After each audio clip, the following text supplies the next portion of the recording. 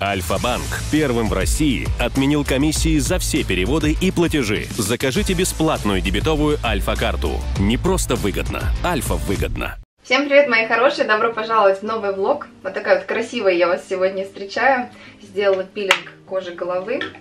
Вот. И пока он у меня работает, я быстренько пройдусь тоником, сделаю маску и пойду с Викушкой завтракать. Она вышла на каникулы. Ну как, она уже 4 дня на каникулах.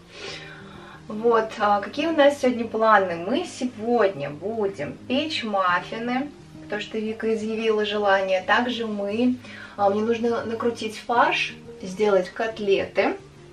Вот. А еще, кстати, хотела рассказать вам про плинтусы. Многие под последним влогом написали, о, классно, плинтусы появились. Но на самом деле появились они не везде. А, Саша в итоге устанавливает сам и пока только частично установил в каких-то комнатах. Вот, так что он в процессе установки. Ну, получается, конечно, очень красиво, сразу такой вот завершенный вид. Совершенно смотрится дом сразу по-другому. В общем, я очень рада. Еще сейчас вот шторы нам тоже скоро привезут, повесим. И потихонечку-потихонечку домик преображается. Это, конечно, не может не радовать. Маска у меня, кстати, от Реше. Медовая, очень вкусная. Она так увлажняет кожу. Ну, такая легенькая прям. Пойду попью кофе. Викуша будет, сказала, шоколадные шарики на завтрак.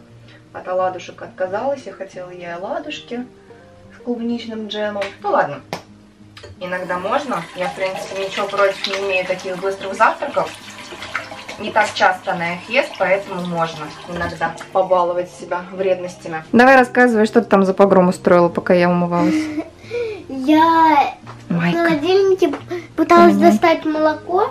Я вытащила сок, и там э, две бутылки кефира, и одна свалилась и вот так вот встала там в дыре. Да ты что? Держи. Насыпай сама. Только столько, сколько сможешь съесть, чтобы потом это все не выкидывать. Они разбухают, потому что... Ну как ты мне накладываешь? Ну вот, вот так вот, хватит. Все? Ну что, вкусненько тебе? Угу.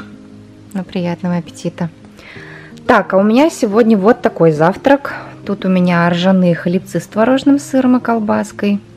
Овощи нарезала. Кстати, хлебцы беру вот такие вот, очень нравятся мне. Хрустящие хлебцы из печи с цельнозерновой мукой. Они прям очень тоненькие, смотрите, какие классные, мне нравятся. А еще есть у фирмы, по-моему, щедрые, тоже тонкие тоже иногда их беру. Кстати, сыр вот такой вот мне нравится, творожный с зеленью. Такие завтраки у меня не каждый день. То меня девчонки спрашивают, чем я вообще питаюсь, как поддерживаю свою фигуру в форме. Нет у меня какого-то правильного питания. Вот просто ем вот э, что хочу честно говоря. А, какого-то прям ПП не придерживаюсь, но стараюсь все-таки булками, там, шоколадом не объедаться. Главное в меру, и тогда все будет хорошо. Ну и, конечно же, желательно подключать спорт, чтобы хоть как-то поддерживать да, а, тело в тонусе, вот, чтобы кожа была упругая, всякие уходы, конечно же, скрабы, масла, еще что-то. Ну, в общем-то, это все в комплексе всегда. В общем, все, хватит болтать, буду завтракать. У нас сегодня снова такая классная солнечная погода. В гостиной уютно, светло, хорошо. И за окном, посмотрите, какая красотища. У меня прям весеннее настроение уже вовсю, потому что солнышко так часто сейчас выходит и нас радует. Прям вообще обожаю такую погоду. В прошлом влоге многие удивились нашему количеству снега, сказали то, что Казань забрала в этом году все себе. Это действительно так, снега невероятное какое-то количество, у нас такого не было, наверное, никогда. Вот на моей памяти я вот не помню, чтобы такие сугробы лежали. И я представляю, когда сейчас это все начнет таять, мы просто поплывем. Даже страшно, честно говоря. Кстати, скорее всего, у нас будет такой влог, в котором минимум закадровой озвучки, больше вот такого живого общения с вами, где я напрямую разговариваю с камерой, а, потому что мне так проще, и таким образом видео выйдет быстрее. Объясню почему, потому что вот эта закадровая озвучка, она на самом деле занимает очень большое количество времени. То есть сначала я пишу текст, потом я озвучиваю, потом я накладываю это на видеоряд, потом какая-то музычка накладывается. Это настолько все долго, и у меня просто нет такого количества времени, именно поэтому влоги всегда затягиваются. То есть я могу их начать там понедельник, а закончить только в воскресенье. Потом еще это все монтируется. Плюс, ну, я же работаю. И получается так, что я вообще без выходных сейчас работаю. То есть у меня, когда я в студии, я в студии работаю, потом я прихожу домой, у меня начинаются съемки, монтаж, текст, озвучка, общение с рекламодателями. Короче, я ничего не успеваю. Это, кстати, знаете, к вопросу о том, мне на днях тут прилетел комментарий, э, типа, Тая, как у вас организован вот распорядок дня, что вы все успеваете, что и на канале, и на работе, и в домашних делах у вас везде все порядок, э, все так организованно и классно, но на самом деле хочу сказать, что не надо оценивать человека по картинкам, по влогам, потому что это далеко не так, девчонки, я вообще ничего не успеваю, если я в студии там целую неделю, у меня тоже такой же бардак, и я все это делаю в выходные, поэтому у всех одно и то же, у всех одни и те же проблемы, заботы и домашние дела. Вот, поэтому не судите по картинке. Но мы с моей маленькой подружкой уже приступаем к приготовлению маффинов. Количество ингредиентов пропишу в описании под видео. Тут у нас растительное масло, какао-порошок, сахар, мука, разрыхлитель, кефир, молоко и яйцо. Да, ну и посыпочка это уже потом. Все, Сегодня ты самостоятельно будешь полностью их от и до готовить, Виколь. Я только помогу по формочкам разлить, ладно? Давай я тебе насыплю муку, и ты будешь ее просеивать аккуратненько. Так. Угу. Можешь ручкой вот так постукивать.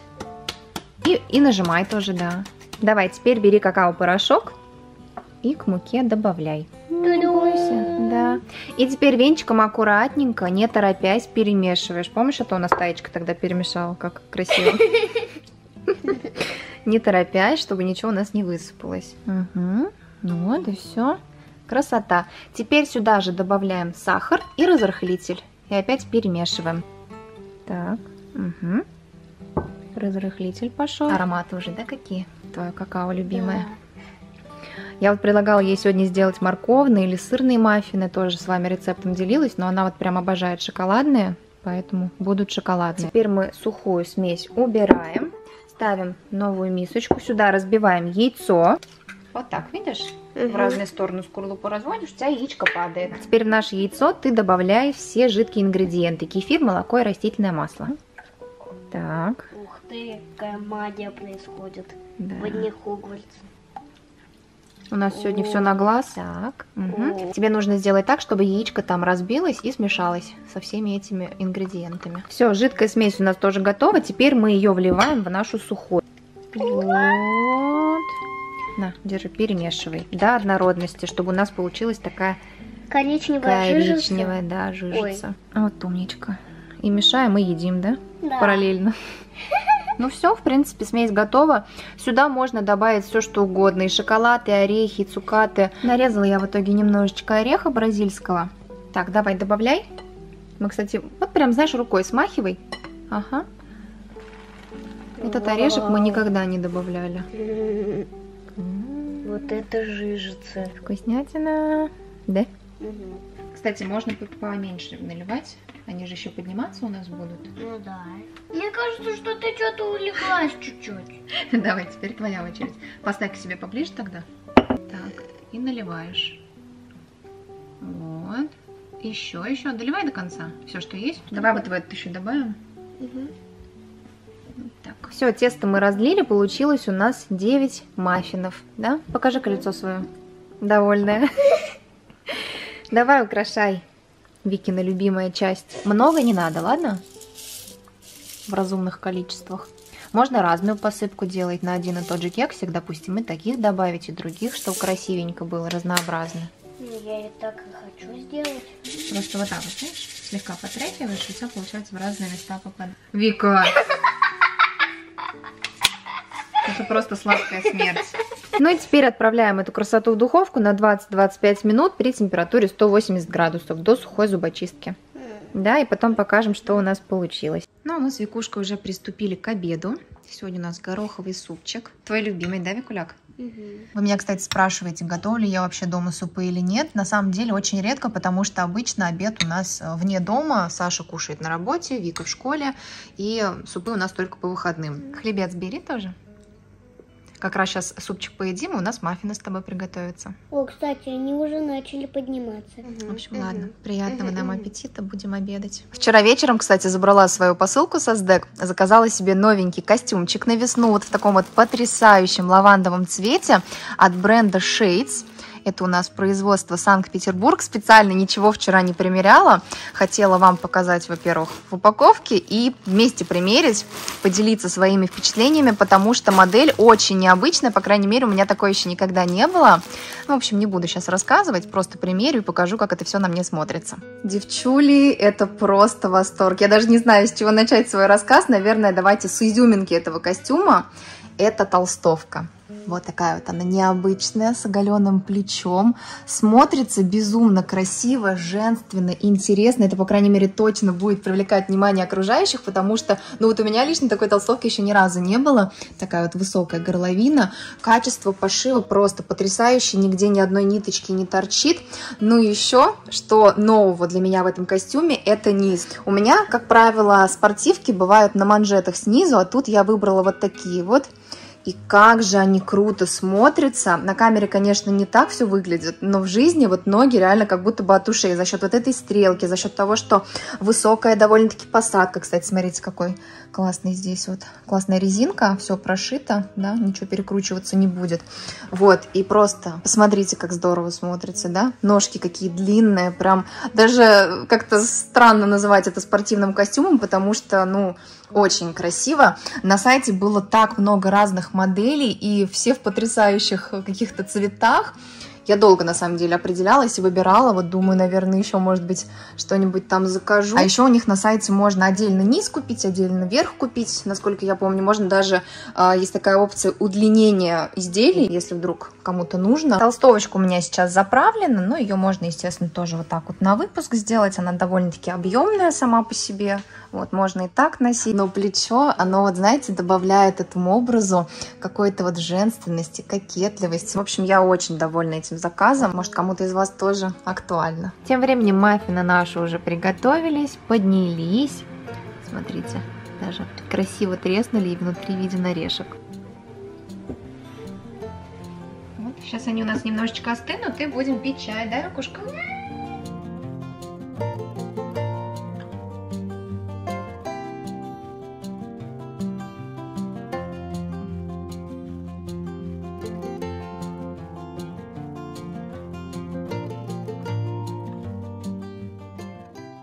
Поводу плинтусов давайте покажу, что Саша успел сделать на сегодняшний день. Начал он с прихожей, с коридорчиков, потому что это самое сложное. Здесь вот видите много всяких подрезов, уголочков. Все нужно было аккуратненько сделать. Ну, Саша, в принципе, всегда аккуратно работает. Вот, а здесь он не стал их заводить внутрь, потому что тут у нас планируется а, во всю нишу во всю ширину комод, обувница точнее. Вот, поэтому, скорее всего, это просто все будет подрезаться и все. С этой стороны тоже, видите, к шкафу купе он прям все подвел, очень аккуратненько, везде все подрезал, ровно, красиво. В кухне-гостиной вы тоже уже видели, но тут вообще просто было ничего подрезать не надо, просто приклеить и все. А вот там нужно еще доделать, там, где порожек, а плинтус будет ниже по уровню, поэтому нужно его тоже аккуратненько подрезать. Саша это еще не делал. Ну и в коридоре тоже у нас появились частично плинтусы. Вот с этой стороны, с этой стороны, а здесь пока, видите, нет. И там тоже не установлен, и сразу, да, разница какая. Тут так красиво, завершенно. И здесь пока не доделано. И еще мы, кстати, видите, консоль поставили на ее законное место, где она и планировалась. Мне очень нравится. В общем, начало положено. В других местах тоже потом плинтусы обязательно Саша установит, и будет вообще красотища. Сейчас хочу быстренько помыть полы. Уже набрала воду в ведро. Добавим моющее средство. Сегодня использую вот такое вот. Оно универсальное, его для всего можно. Прям вот так заливаю. Все и пойдемте убираться. Альфа-банк первым в России отменил комиссии за все переводы и платежи. Закажите бесплатную дебетовую Альфа-карту. Не просто выгодно, Альфа выгодно.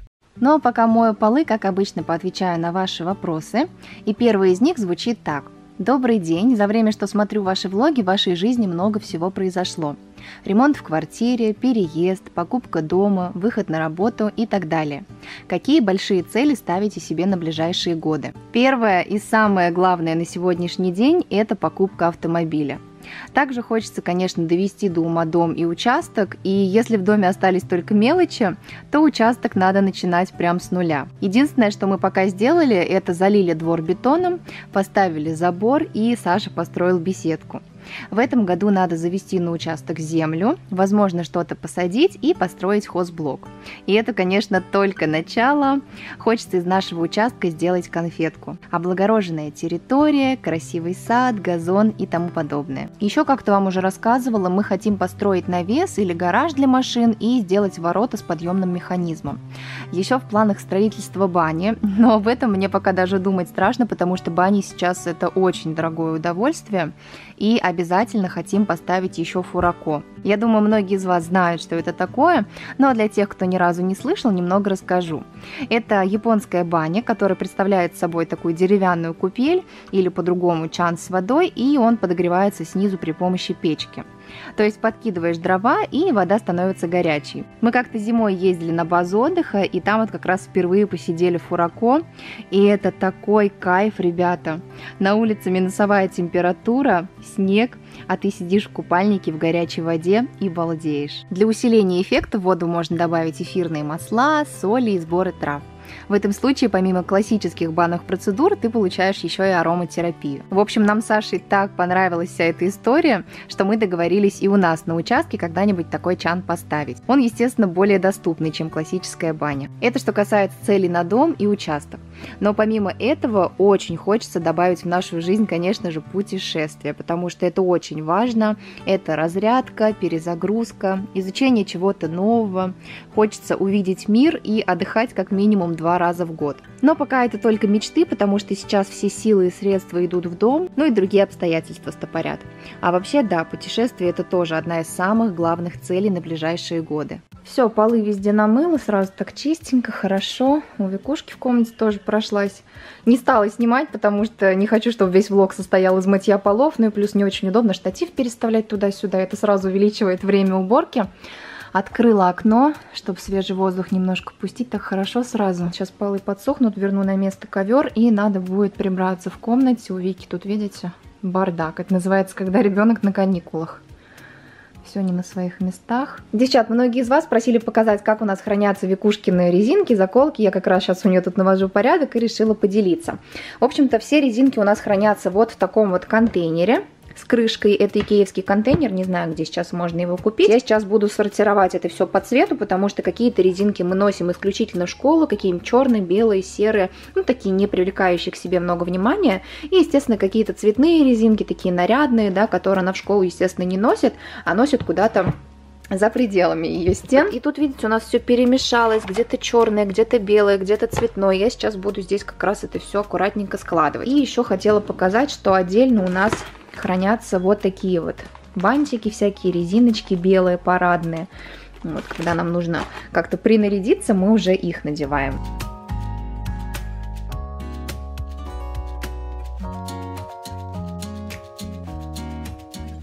Так, ну вот, девчонки, я тут по своей логике все рассортировала. Здесь у меня цветные. А, их я, конечно, не буду прям вот так по цветам раскладывать, потому что не так много секций, ну просто мне так проще. Тут большие белые, тут большие черные, маленькие белые, маленькие черные, а, заколочки черные, невидимки. Это как раз вот школьная история, это вот самое главное, чтобы вот хранилось аккуратно, остальное уже не так важно. Тут у меня какие-то объемные парные резинки. Здесь тоже резиночки, которые, видите, со всякими элементами. Вот. И тут уже цветные какие-то заколки. В общем, сейчас подумаю, как это все лучше сложить, разместить. Потом вам покажу, что получилось. Еще был вот такой вопрос. Таисия, есть ли у вас права и умеете ли вы сами водить машину? Да, права у меня есть, получила я их в далеком 2013 году. Водить умею, но сама сажусь редко, потому что пока машина у нас одна и удобнее, когда за рулем Саша. Но когда у меня появится своя машина, я вообще без проблем сяду за руль. Я этого абсолютно не боюсь, всегда спокойно себя чувствовала на дороге. Это, конечно, будет супер удобно, и я надеюсь, что мы как можно скорее сможем это воплотить в жизнь.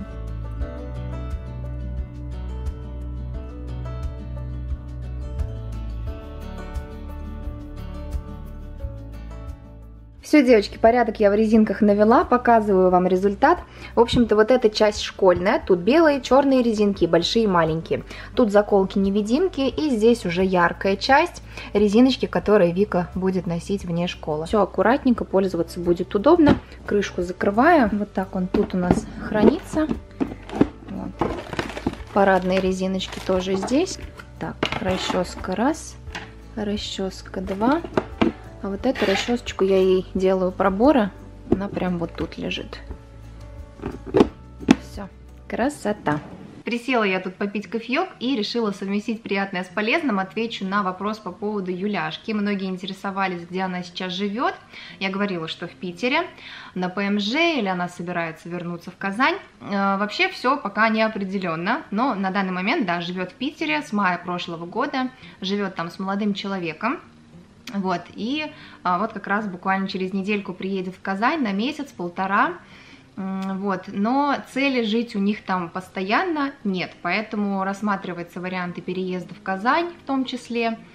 Короче, пока вообще ничего не известно, мы сами ждем, когда она вернется, потому что очень, конечно, ее не хватает, я уже настолько привыкла, что она всегда рядом, вот, и сейчас, когда она прилетает, это такая радость, она там полвремени живет с родителями, полвремени с нами, чтобы хоть как-то насладиться общением друг с другом. Мы, конечно, и так общаемся постоянно по видеосвязи, там, да, кружочки в Телеграме, все дела, но все равно это очень мало. Мне хочется там с ней походить там по магазинам, как раньше, погулять, да, она там к нам приезжает, мы там киношки какие-то смотрим, поболтать нормально. Ну, в общем, мне, конечно, очень ее не хватает в Казани, поэтому я очень надеюсь, что она все-таки вернется. Как-то так, надеюсь, ответила. А я пью кофе и буду уже заниматься котлетами. Накручу фарш, приготовлю ужин. Сегодня Саша опять, кстати, попросил булгур, но с котлетками. Так что давайте делать это вместе. Так, достала я свою помощницу мясорубку и все мясо, которое было в холодильнике. У меня, кстати, есть прям уже готовый фарш индейка от Indie Light. А, два лоточка по 450 грамм. Также здесь филе бедра, это тоже индейка. Два лотка по 410 грамм. Тут у нас курица, это бедро бескостное 700 грамм. И еще был кусочек свинины, это корейка охлажденная. В общем, я сейчас все это смешаю, добавлю лучок, булку замоченную в молоке. И получится у нас довольно-таки большое количество фарша, из которого я сделаю вкусные, сочные, сытные котлетки.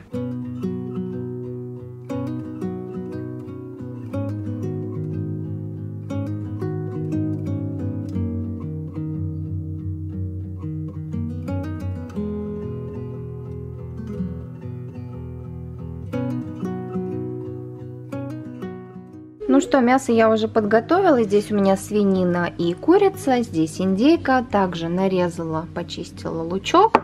Тут у меня фарш из индейки. Я его, кстати, уже отбила. Да, Викулек? Вик тут смеялась, говорит, ты зачем над фаршем издеваешься?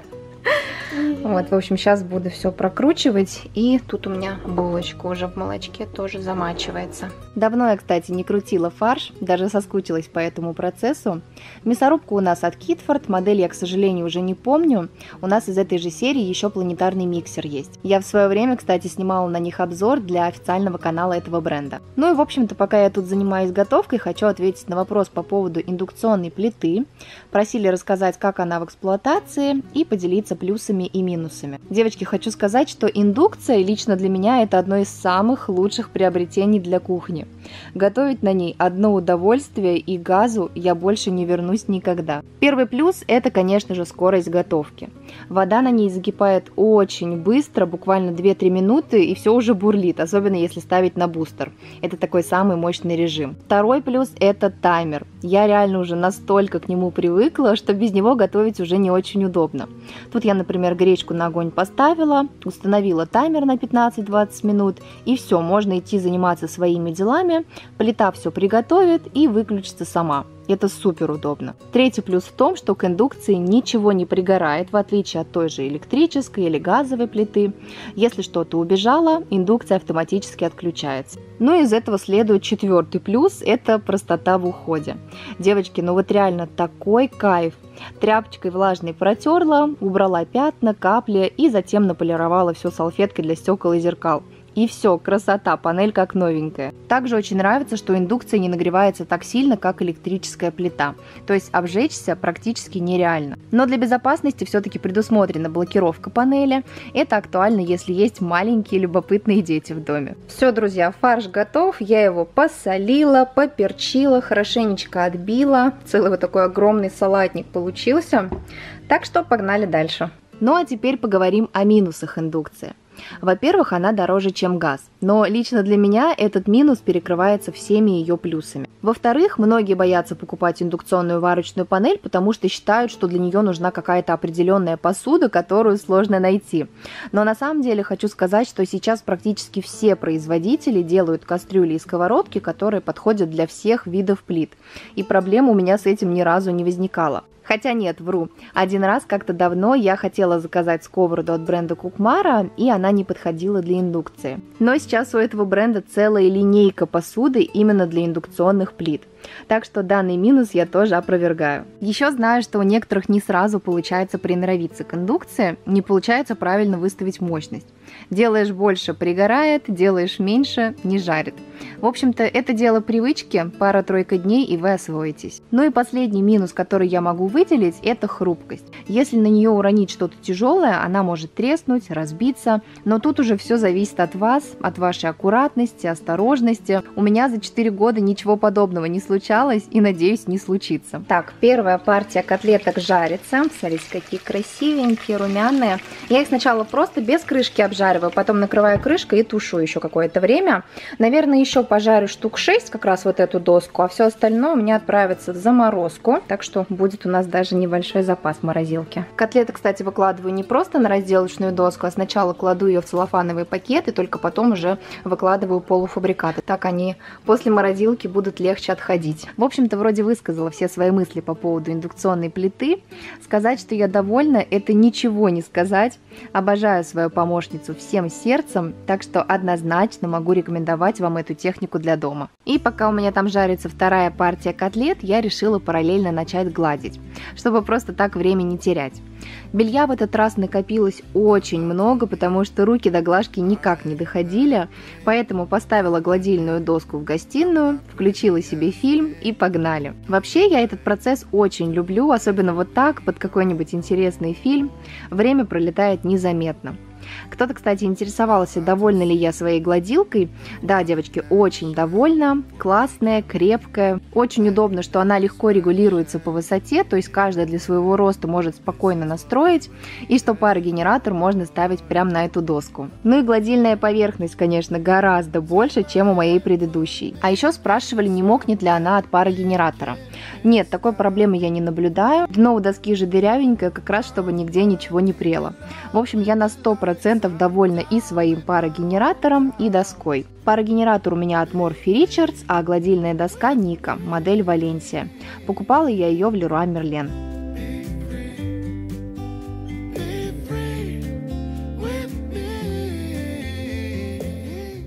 Все, наш ужин практически готов. Здесь у меня тушатся, доготавливаются котлетки.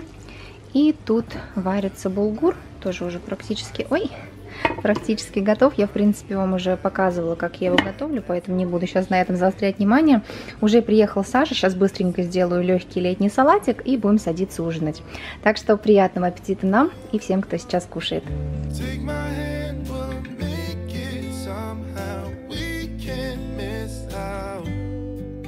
Вкусно тебе? Прическа к вечеру развалилась вся. Твои рожки стали ушками просто. Но после ужина я продолжаю свою глажку. Говорю, вещей в этот раз много. Помимо огромной корзины, заполненной до краев, у меня тут еще и целый рейл с футболками, поло, который я после стирки сушу прямо на плечиках. Поставила себе на фон фильм «Лед». Ни разу его не смотрела, но я думаю, многие из вас про него слышали. Это наш российский фильм. Потом еще и вторую часть включила. Наревелась, конечно, в этот вечер на месяц вперед. Вообще наши фильмы я не особо люблю, но иногда заходят. И пока глажу, хочу ответить на такой вопрос. Тая, по вашим влогам создается ощущение, что вам нравится убираться. Правильное ли это ощущение? И если да, расскажите, как так получилось. Просто для меня это не особо любимое занятие. Это связано с тем, как вас воспитывали родители, всегда ли так было? Итак, отвечаю. Нет, конечно же, так было не всегда. В детстве я, как и любой другой ребенок, не любила убираться, особенно мыть посуду. Помню, как мы с Юляшкой вечно спорили, чья сегодня очередь. Ну а сейчас я убираться действительно очень люблю.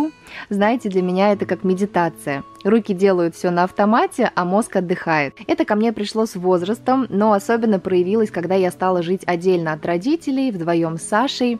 Мне было очень приятно чувствовать себя единственной хозяйкой в доме, создавать там уют, порядок, чистоту. И это не говорит о том, что с мамой мне было как-то некомфортно делить быт, просто я радовалась своей самостоятельности, что я одна совсем справляюсь. Но я думаю, вы понимаете, о чем я говорю. И за это как раз огромная благодарность родителям, потому что именно они прививали любовь к чистоте, к порядку в доме. Они всегда учили нас с Юлей, говорили, что мы будущие хозяйки, мамы, жены, что наш дом – это наше лицо, и там всегда должно быть тепло, уютно и хорошо, чтобы туда хотелось возвращаться. Да, поначалу приходилось нас заставлять убираться в своей комнате, протирать пыль, мыть посуду, полы и прочее, но потом мы поняли, что делаем это для себя, для своей семьи, для нашего комфорта, а потом как-то само собой и полюбилась. На этом я, наверное, и закончу сегодняшний влог. Надеюсь, вам было с нами интересно, полезно. Заглядывайте снова в гости, мы всегда рады. Любим вас, целуем, обнимаем. Увидимся совсем скоро. Всем пока-пока.